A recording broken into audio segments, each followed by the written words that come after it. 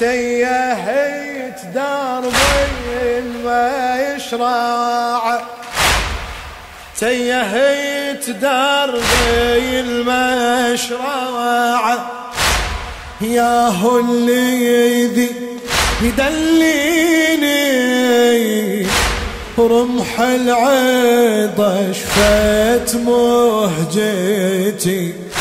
أو سهم المني يا بعيني هردك صيد الحامي الضاعن رحم الله من قرأ الفاتحة مع الصلوات.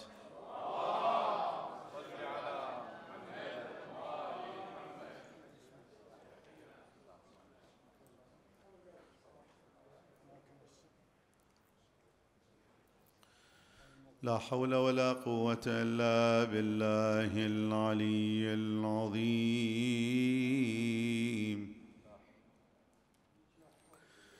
إنا لله وإنا إليه راجعون.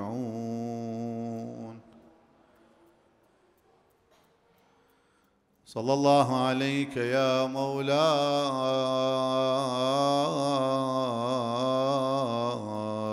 يا رسول الله. وعلى آلك الطاهرين.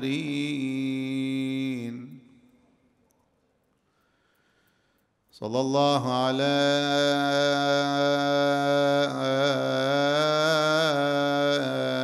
يا مولاي. يا أبا عبد الله يا رحمة الله الواسعة ويا باب نجاة الأمة. يا غريب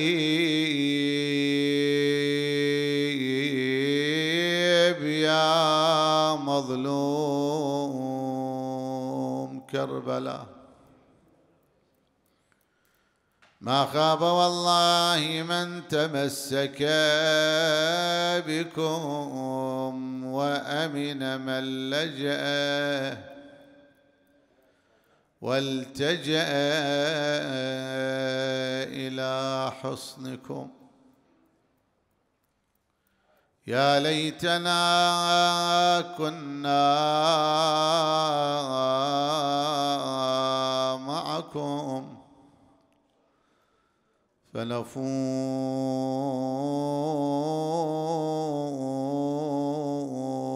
فوزا.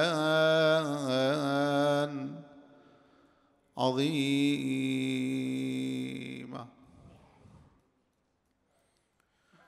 ذكرت محل الربع من عرفاتي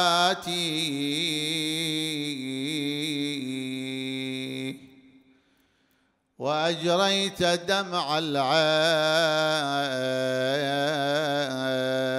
بالعبرات. وفل عرى صبري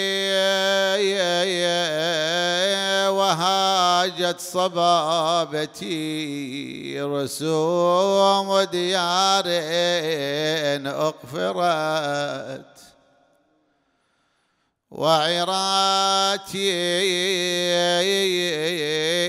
مدارس آياتي انخلت من تلاوتي. ومنزل وحي مغفر العرصات.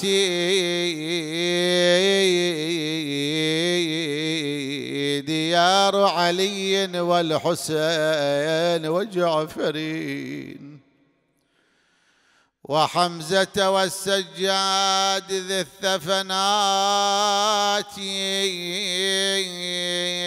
منازل كانت للرشاياد وللتقى وللصائم والتطهير. والصلوات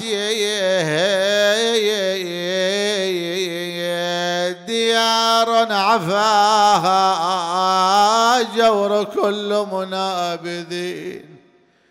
يا ولم تعفل الأيام والسنوات.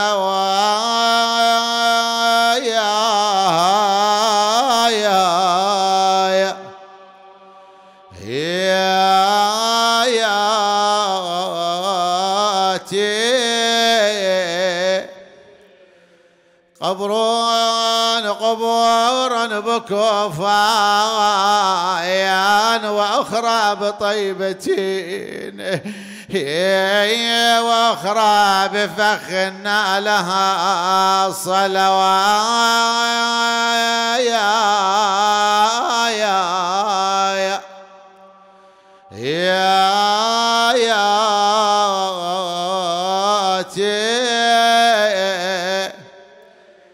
وقبر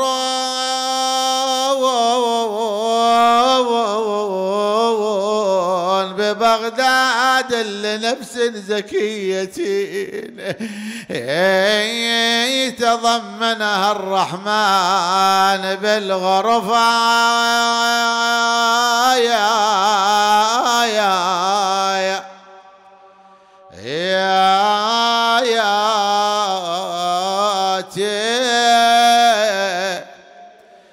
وقبر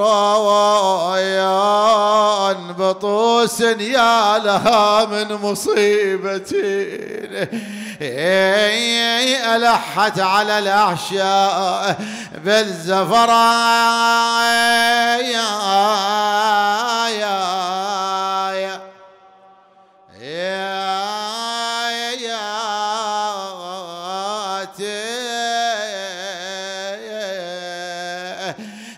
فاطم لو خلت الحسين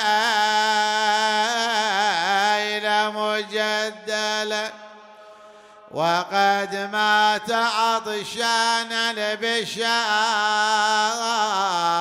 فراء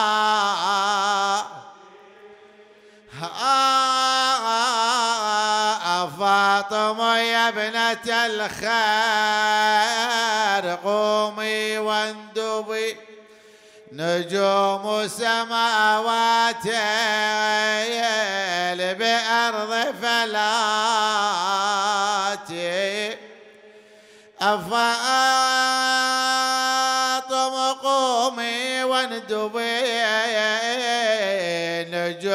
سماوات بأرض فلاتي. تقل يما يما يا حسين يا ابني. يا ابني يا من رأى الذباح ذبحني. يسعدنا على ابني يا يا يا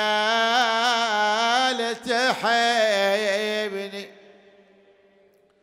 لا حول ولا قوة إلا بالله العلي العظيم. وسيعلم الذين ظلموا آل محمد أي منقلب ينقلبون. والعاقبة للمتقين.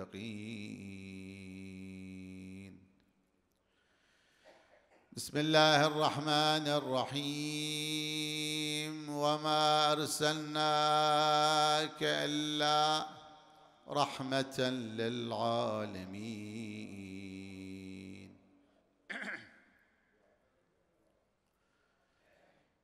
الحديث عن المصطفى صلى الله عليه وآله.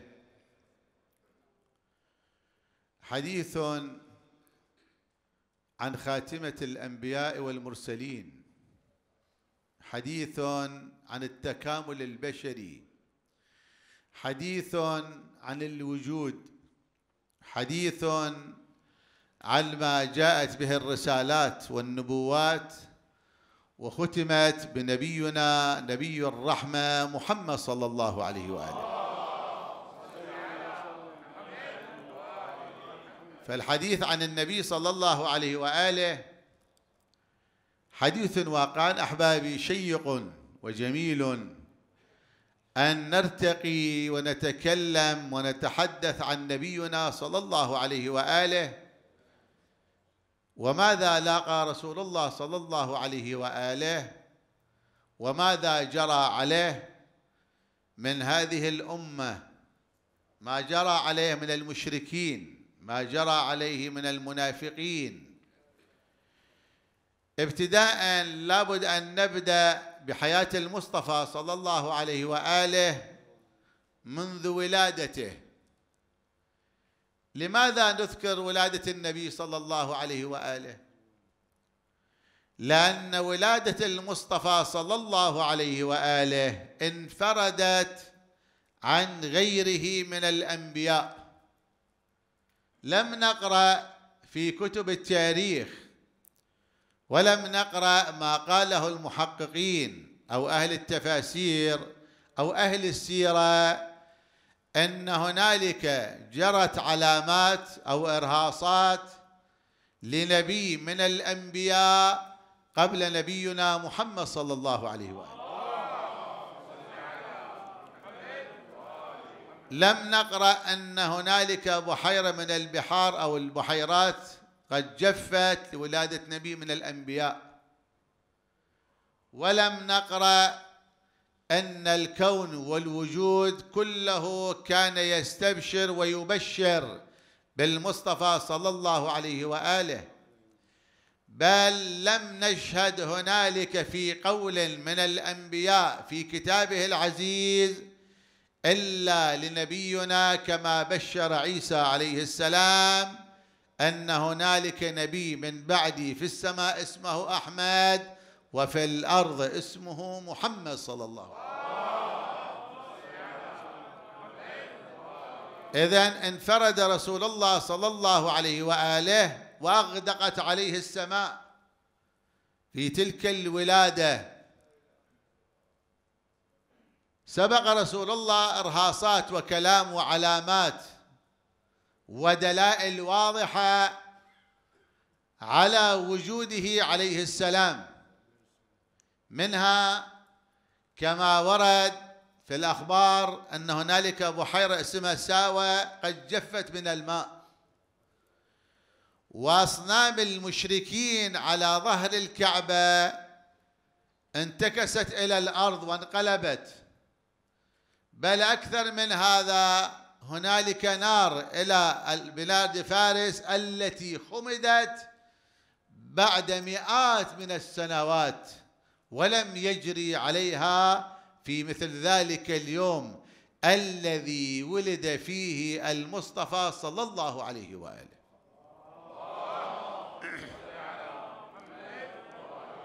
غير ذلك هنالك إعلام من اليهود والنصارى على وجود نبي آخر الزمان. وهذا النبي العظيم الذي اختاره الله سبحانه وتعالى ومهد له قرابة مية وعشرين ألف نبي ورسول بعثهم الله سبحانه وتعالى حتى يأتي ذلك النور الإلهي المتجسد في رسول الله صلى الله عليه وآله. ولهذا جابر بن عبد الله الأنصاري يسأل المصطفى صلى الله عليه وآله. يقول له يا رسول الله أول ما خلق الله أي شيء؟ قال له خلق النور. وأن النور انبثق. ذلك النور بل إن الله سبحانه وتعالى أول ما خلق من نوره ذلك هو نور محمد صلى الله عليه وآله. كما ورد في الحديث عن المصطفى صلى الله عليه وآله قال يا علي خلقني الله وأنت. في رواية قبل ألفي سنة من جميع ما خلق الله قبل أن يخلق كل الخلائق والوجود. وفي رواية أربعة آلاف سنة. كنا أنوار محدقين حول عرش الله. وذكرت الرواية أنا قبل كم يوم. عموما لما نأتي إلى النبي صلى الله عليه وآله ولد في عام الفيل. عام الفيل ذلك العام الذي جاء أبرهة الحبشي إلما إلى الكعبة. لما جاء إلى الكعبة وحاول بالمنجنيق أن يهدم الكعبة وأن يحرق الكعبة.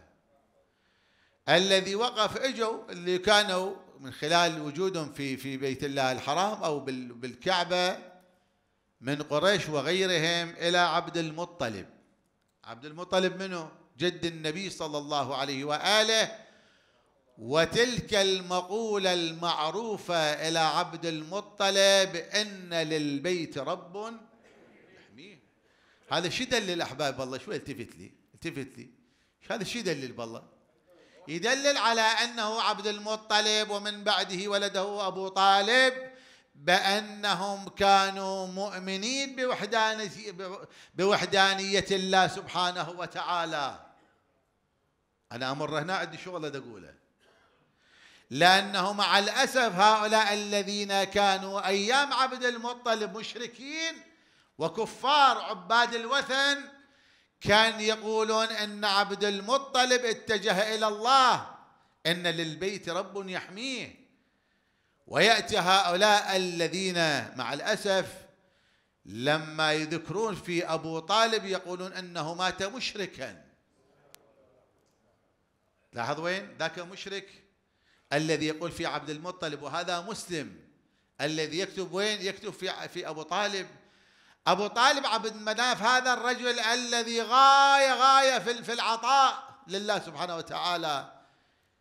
كان مؤمنا كتم إيمانه ولولا كفالة وحماية أبو طالب بعد عبد المطلب لما بقي للإسلام ومثل هنالك مثال أو جرى هنالك أمر. مع الأسف هؤلاء لما يأتون يعني أنت والله عجيب يعني بعض الأحيان والله تتألم يعني. وايد تتألم. ليش؟ لأنه لما تنظر إلى هؤلاء الكتاب ليش يكتبون هذا الكلام؟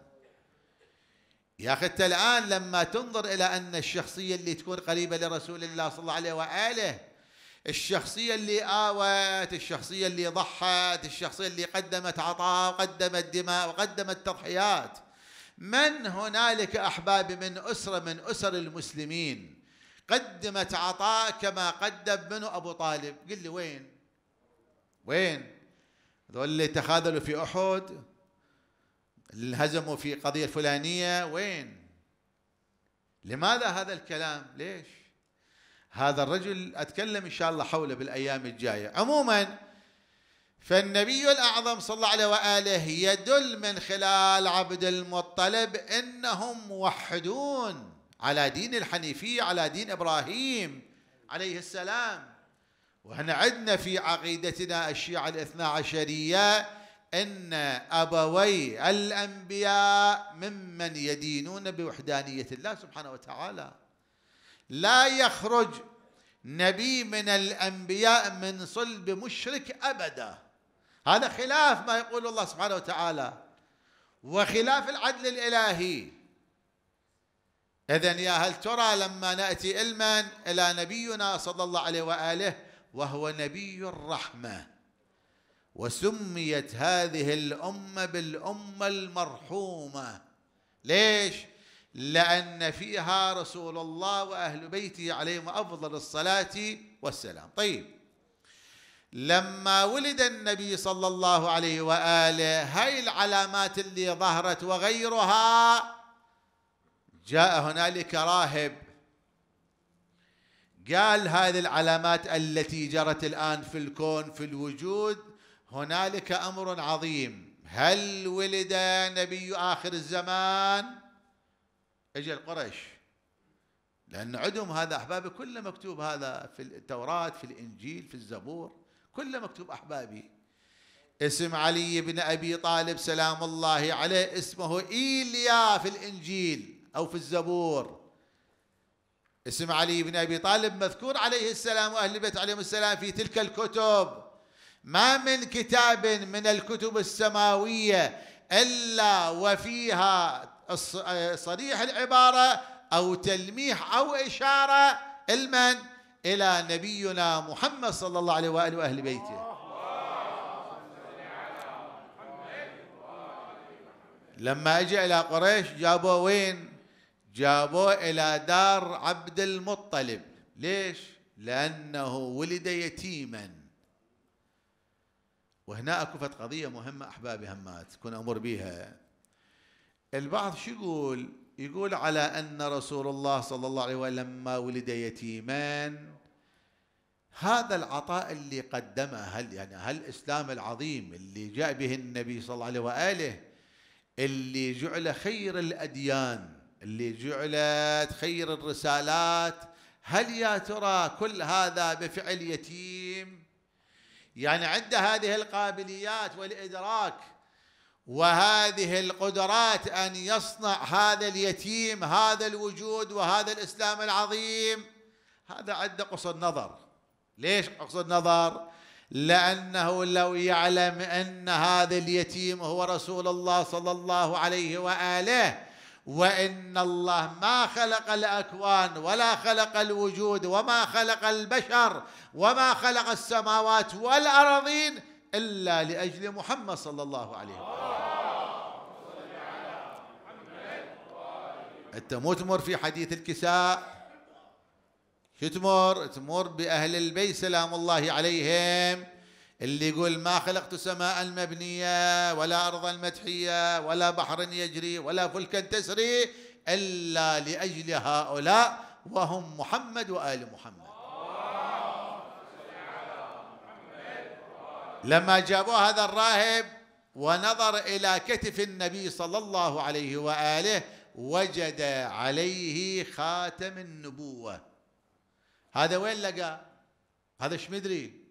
هذا من أين علم؟ علم من خلال الكتب التي كانت تخبر أن نبي آخر الزمان يولد في مكة ويولد في قريش. طيب الكفالة كانت عن من؟ الكفالة إلى عبد المطلب. زين ذلك الزمان أحبابي لظرف ما لأم الوليد اللي ما يكون لها لبن قليل اللبن في في صدرها يودوها إلى مرضعة.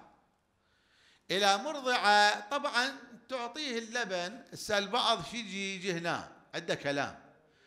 يقول يا هل ترى هاي حليمة السعدية اللي ارتضعت رسول الله صلى الله عليه وآله؟ كانت كافرة مشركة لو مسلمة مؤمنة. هذا كلام.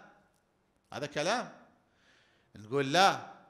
إنها على دين الحنيفية وإلا لم يرتضع رسول الله صلى الله عليه وآله من صدر أي امرأة كافرة أو مشركة حاشا لرسول الله. أبدا. إذا كانت شنو؟ موحده هذا جانب. الجانب الآخر يجون مع الأسف البعض شو يقول؟ يقول هذا اليتيم اللي جابوه رسول الله صلى الله عليه وآله نبي الرحمة العطاء الإلهي المتجسد في رسول الله يقولون هذا لما جابوه إلى المرضعات كل واحدة عزفت عنه. كل واحدة قالت أنا ما اخذه ليش يابا هذا يتيم. واليتيم أنا ما احصل من وراه شيء. باعتبار اليتيم ما عنده عطاء يعطي. هاي المرة لما تيجي تأخذ أجر أجر الرضاعة أجر تأخذ عليه. أنت شايف والله وين بالله عليك؟ أنت شايف؟ هذا الكاتب مو مشرك أحبابي ولا ملحد. لا لا الكاتب مسلم يعني. يقول جابوه ما حد شافته وما حد خذته من المراضع كلها تركوه. إلا حليمه السعديه لما جابه ترقت عليه قال سجلته وبعداني ما عندي بس هذا قدام بعد ماكو غيره آخذه. أنت شايف الكلام هذا اللي مع الأسف يعني متدني. هل يا ترى رسول الله صلى الله عليه وسلم تعزف عنه النساء؟ رسول الله صلى الله عليه وآله جده عبد المطلب سيد قريش. كان هذا الرجل الذي يصنع تلك المأدبة إلى كل سائل ويتيم ومحتاج. أبو عبد المطلب الرجل العظيم اللي هاي مكة تشهد عنه اللي كانت كل سقاية الحاج وإدارة مكة بيده. هذا فقير. هذا فقير ما عنده. وهل يا ترى رسول الله هذا نبي الرحمة العطاء المتدفق؟ هذا أقول عنه أنا هذا لأنه والله يتيم ما عنده وأنا خلص بعد قبلت بحظي ونصيبي. هل هذا كلام يصدر من إنسان مؤمن؟ والله لما أمر بهم ذولا والله بعض أنا وايد تعبان يعني أتأذى يعني. يا أخي أنت مو تقرأ أنه النبي صلى الله عليه وآله معاجزه وكراماته؟ أنت مو تقرأ ماذا يقول الله في رسول الله صلى الله عليه وآله وما أرسلناك إلا رحمة للعالمين.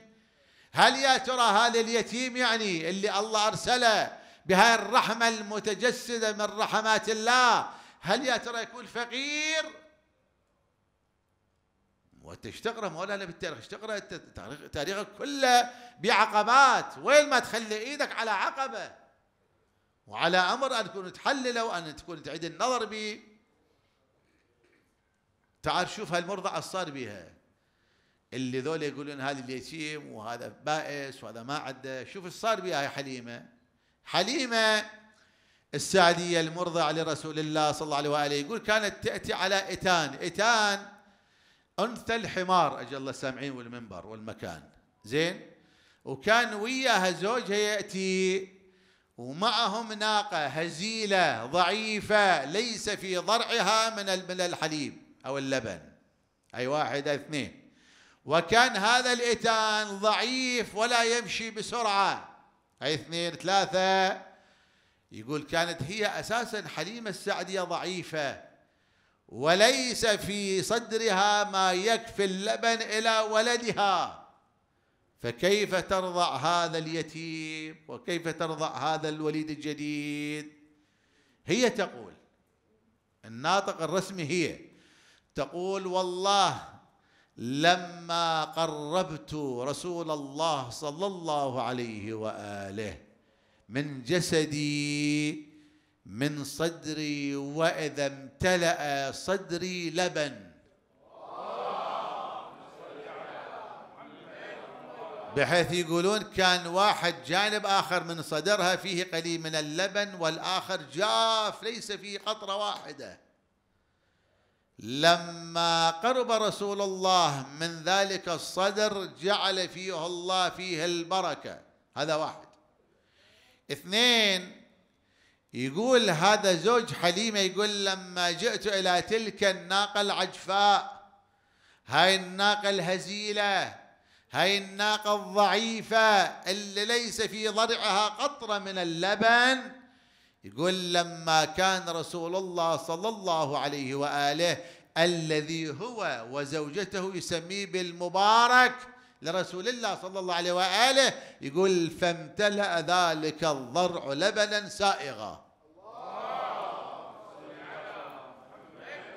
وحتى أن هذه الناقة الهزيلة وذلك الإتان الضعيف الذي كان يمشي على على هونه أو على ضعف أو على بطء يقول لما أرتقت عليه حليمة السعدية وبين يديها رسول الله صلى الله عليه وآله سبقت جميع النساء. حتى قلنا لها يا حليمة ما الأمر؟ هذا الإتان اللي كان ضعيف هزيل هذا ما يمشي هذه السرعة. قالت ذاك ببركة هذا الوليد. وهذا الوليد هو محمد صلى الله عليه وآله. أربعة تقول لما رجعنا إلى ديارنا ما كان هنالك من الزرع الذي يكفي المن إلى الحيوانات إلى الغنم وغيره. كان عندنا قحط شديد. قل لما جئنا وإذا اخضرت تلك الأرض وأينعت وأخرجت بركاتها زين بفضل محمد صلى الله عليه وآله. هذا الذي تتكلم عنه بأنه بأنه يتيم. هذا اليتيم هو الذي أخرجكم من الظلمات إلى النور. هذا النبي العظيم صلى الله عليه وآله النبي الوحيد على وجه الأرض لم ينزل العذاب من الله على هذه الأمة ببركة رسول الله صلى الله عليه وآله. وإلا لولا رسول الله لحلت هنالك الصاعقة. طيب بعد لما كفله عبد المطلب إلى قرابة ثمان سنوات قرابة ثمان سنوات توفي عبد المطلب ثم جاءت الكفالة لمن؟ جاءت الكفالة إلى أبو طالب عليه السلام. تعال شوف الشخصية وشوف هالعطاء وشوف هالتضحيات. أبو طالب عنده طالب وعنده عقيل وعنده جعفر وعند سيدهم وسيد الخلق بعد رسول الله صلى الله عليه وآله. أمير المؤمنين علي بن أبي طالب عليه السلام.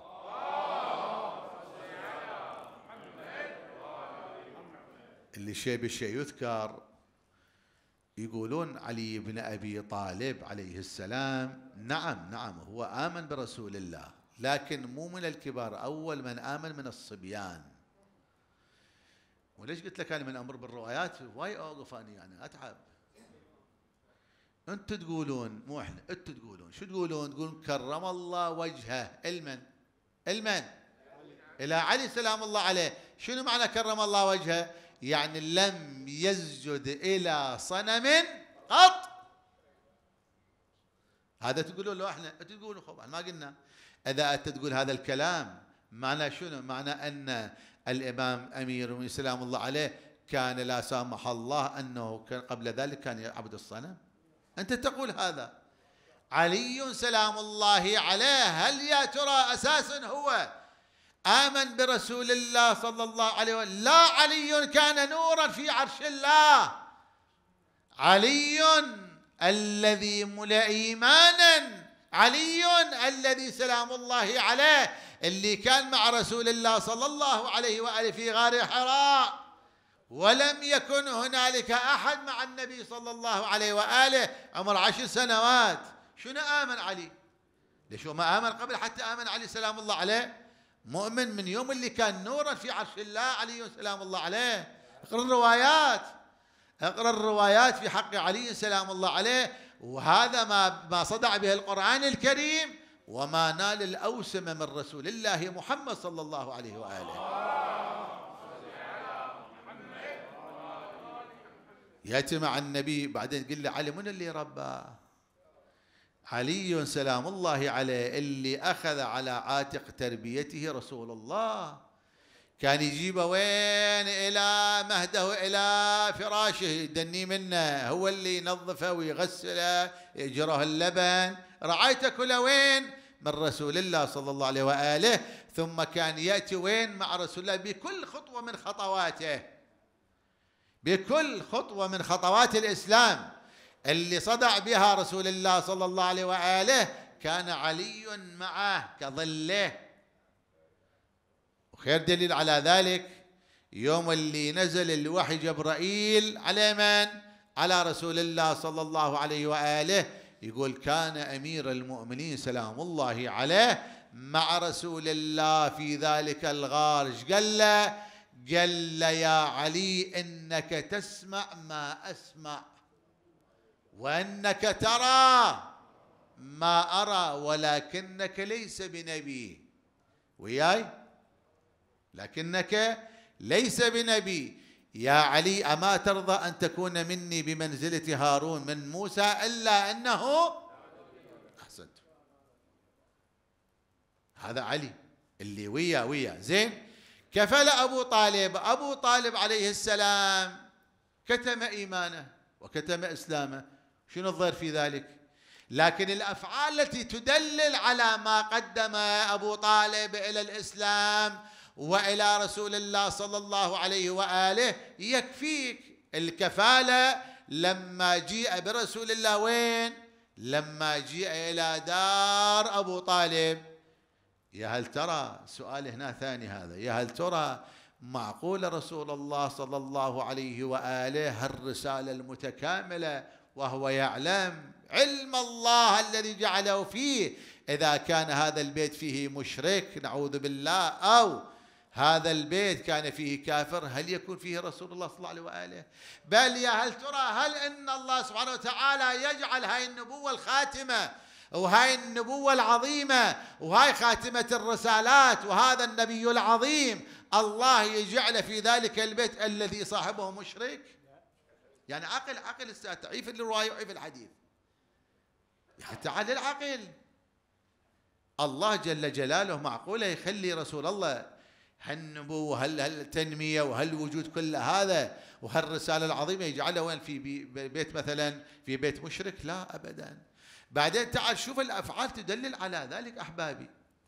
الدليل على هذا لما تأتي إلى أبو طالب عليه السلام نزل جبرائيل إلى النبي الأعظم صلى الله عليه وآله يقول له يا رسول الله اخرج من مكة. وين؟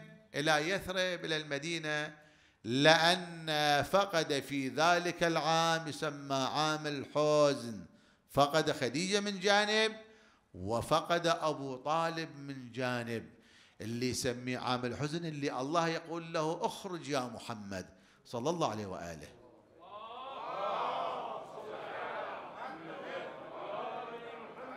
والذي كان في فراش رسول الله منه؟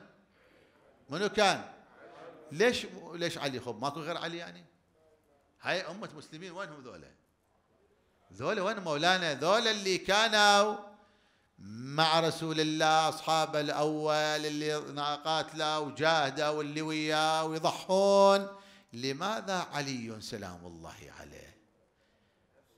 لأن علي سلام الله عليه كما يقول الحج جزاه الله خير هو نفس رسول الله صلى الله عليه وآله.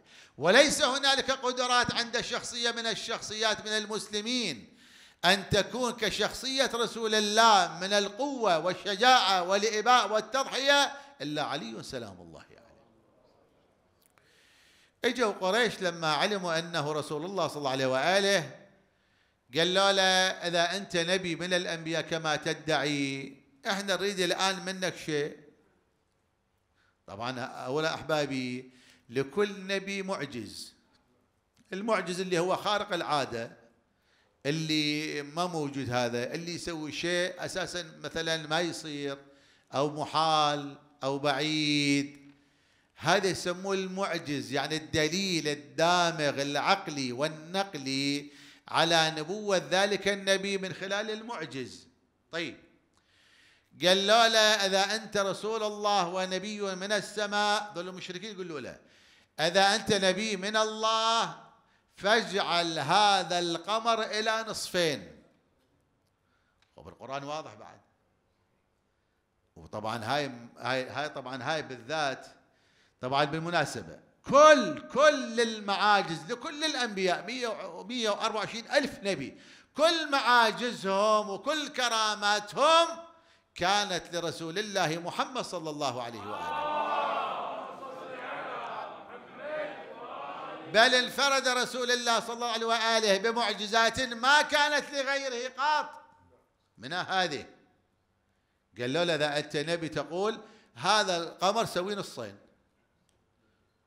بإذن الله سبحانه وتعالى زين جعل ذلك أو جعل ذلك القمر إلى نصفين. صار نصف منا صار من نصفنا ببركة النبي صلى الله عليه وآله. قال لهم الآن آمنتم بالله وأنا رسول الله. لا. زين هاي راحت. إيش تردون بعد؟ قال له إذا أنت نبي تقول وتدعي النبوة فاجعل هذه الشجرة تأتي إليك. طبعا هذا أحبابي هذا مش عادي. لا أبدا. شنو الشجرة تمشي شنو؟ قمر نصفين شنو؟ هذا لما نأتي هنا نقول إن الولاية التشريعية والتكوينية كانت لمحمد وآل محمد صلى الله عليه وآله. يعني ما يقول رسول الله صلى الله عليه وآله الله يمضي عليه بل الله جعل الكون والوجود بيد رسول الله صلى الله عليه وآله. وذلك كله بإذن الله وأمضى على لرسول الله ما يريد. قال لهم فقط هاي قال له اي هاي الشجرة هاي خليها تأتي إليك. فدعا رسول الله صلى الله عليه وآله يقول فاختضت واهتزت بعمق ثم جاءت إليه وحسيسها يأتي إليه شيئا فشيئا وقفت أمامه.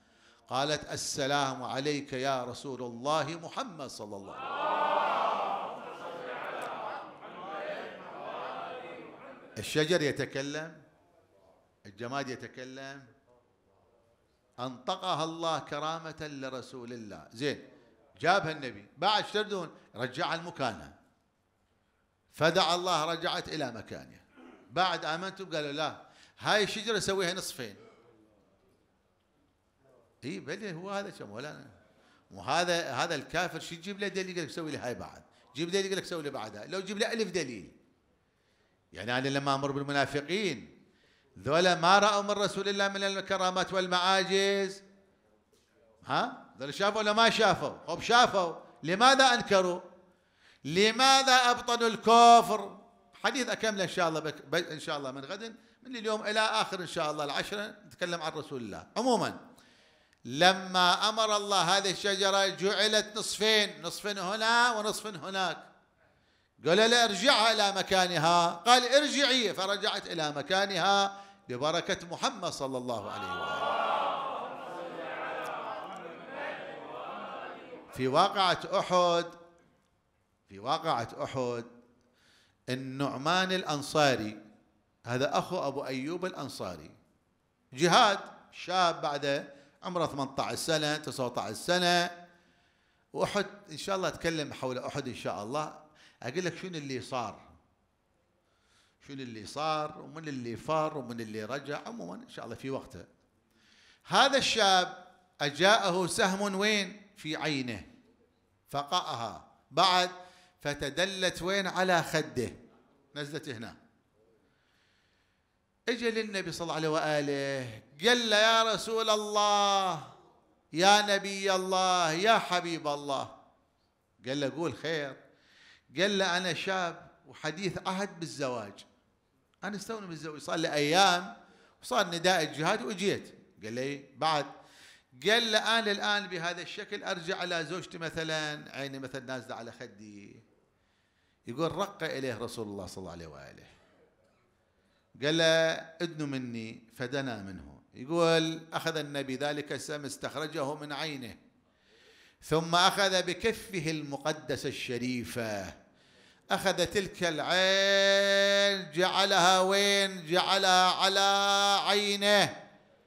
ثم قرأ هنالك قراءة ثم يقول خرج هذا الشاب من عند النبي صلى الله عليه وآله. لا نميز عينه اليمنى عن اليسرى.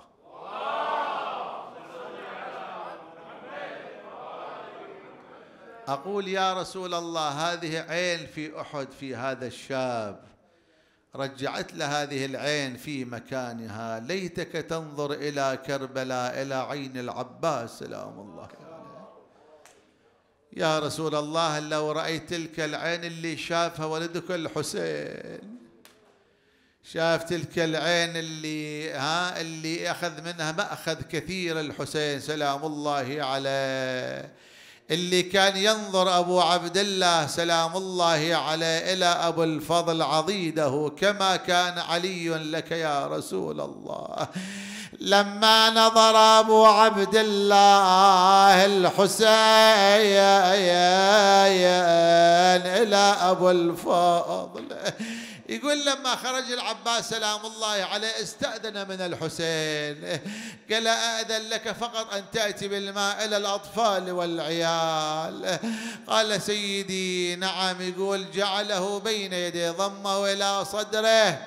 ثم خرج أبو الفضل وكان الحسين ينظر إليه.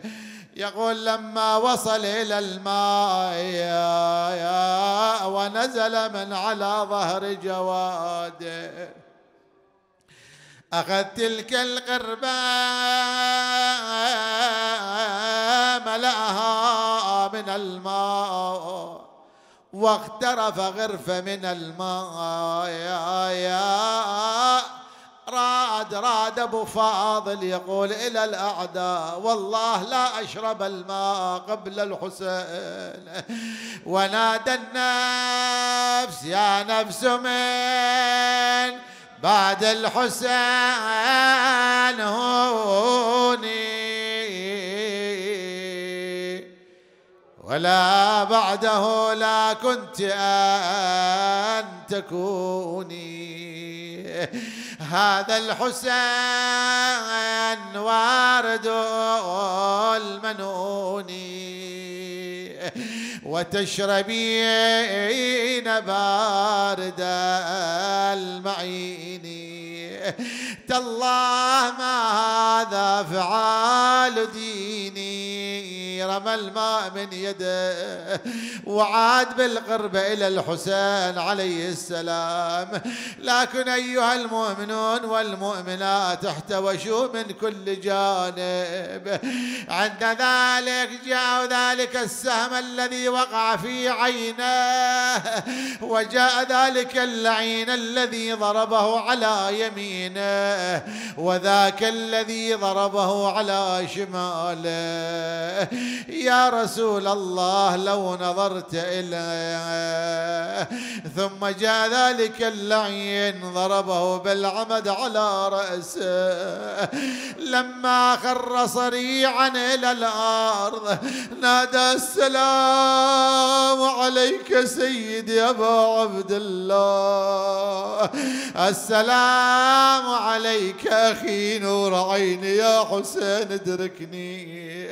يقول جاء الحسين سلام الله عليه جلس عند العباس وحده من عينه جمد عليها الدم الأخرى فيها سهم. قال يا هذا اقسم عليك بمن تعبد إلا ما تركتني حتى يأتي ابن والدي يودعوا ويودوني يقول اخويا أنا أخوك الحسين. يقول أخويا انكسر ظهري ولا أقدر أقوم. صرت مركز يا أخويا لكل الهموم. أخويا استوحدون عقبك القوم. عاد الحسين راد أن يرفع يجيبه وين؟ إلى المخيم. قال أخويا خلينا بمشاني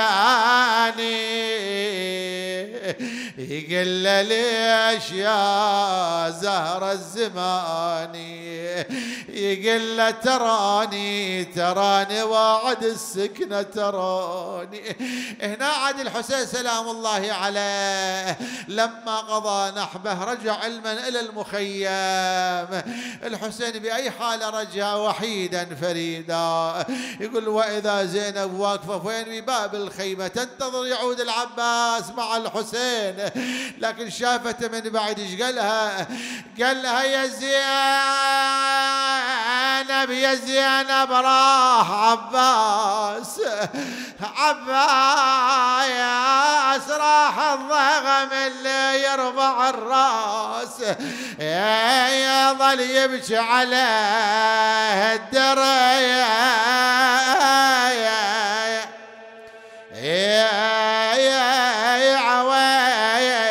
طاس.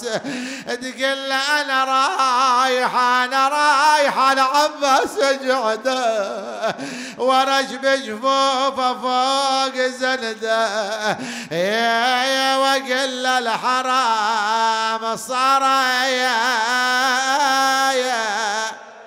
يا يا بشده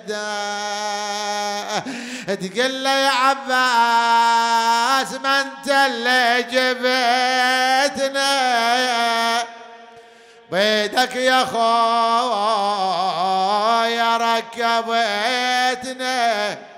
طول الدرب ما فارقتنا عقبك يا خويا ولاتنا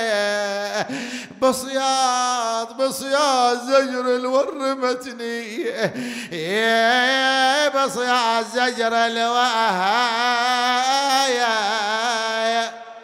يا رمتني. عباس أبو الفضل. يا من أسس الفضل والإبا يا الله. أحبابي يحتاج إلى الدعاء. عندنا مرضى. أسأل الله بقضاء حوائجكم أسأل الله برفع هذا الوباء أسأل الله بشفاعة محمد وآل محمد. جزاكم الله خير الجزاء بتعجيل الفرج.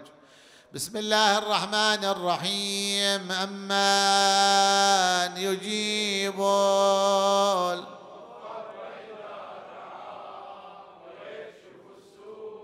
شفاء المرضى. أمن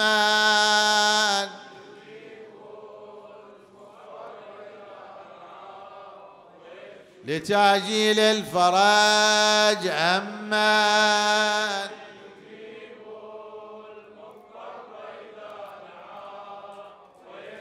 لقضاء الحوائج أمن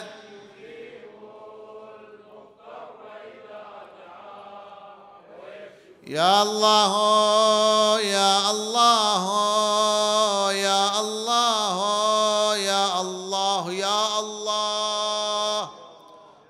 خاب من قال يا الله اللهم نسألك بفاطمة وأبيها وبعلها وبنيها والسر المستودع فيها. اللهم ارحمنا بهم في الدنيا والآخرة. اللهم لا تخرجنا من الدنيا حتى ترضى عنا اللهم لا تفرق بيننا وبينهم طرفة عين أبدا لا في الدنيا ولا في الآخرة. اللهم أحسن عواقب أمورنا إلى خير وعافية. اللهم شافي وعافي كل مريض. إلهي برسول الله. اللهم شافهم وعافهم يا أرحم الراحمين. اللهم احينا حياة محمد وآل محمد وامتنا ممات محمد وآل محمد. اللهم اقضي حوائجنا حوائج المؤسسين الحاضرين السامعين حوائج الدنيا والآخرة يا أرحم الراحمين. اللهم عجل لوليك الفرج واجعلنا من أنصاره واعوانه واللائذين والمستشهدين بين يديه. اللهم ارزقنا شفاعة رسول الله في الدنيا والآخرة. اللهم ارزقنا شفاعة الحسين في الدنيا والآخرة. المؤسسون اللهم احفظهم اللهم تقبل عملهم اللهم اجعله ذخرا لهم ولوالديهم وأمواتهم في الدين والدنيا والآخرة. اللهم اجعل هذا المكان عامرا بذكر محمد وآل محمد إلى أموات المؤسسين وأموات الحاضرين والسامعين. رحم الله من ذكر الفاتحة مع الصلوات.